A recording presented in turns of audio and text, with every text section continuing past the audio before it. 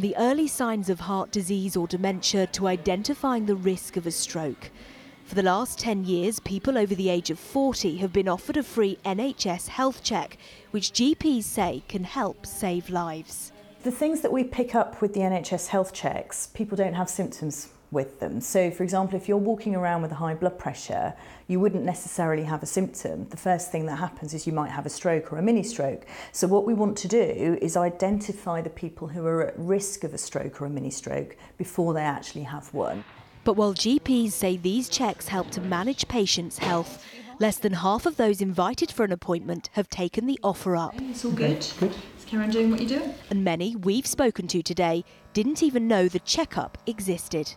A midlife health check. I have. I didn't receive a letter, but I did go to the GP for another reason, and they said, "When did you have your last midlife health check?" And I said, "Never." So she tested my blood pressure and everything then. Why wouldn't I take a free health check? It just makes sense. It's common sense, really, isn't it? Have you ever taken them up on the offer? No, no, I don't know. I don't know why. Perhaps I'm a bit scared. I don't know. And it's because of the low uptake and questions raised over its value for money that the government has launched a review based on a similar blueprint to that used for detecting cancer.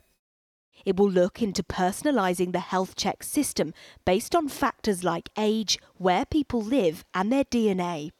The new checks could also be tailor made, with patients in their 40s given advice about alcohol use and the over 70s given ways to lower their blood pressure.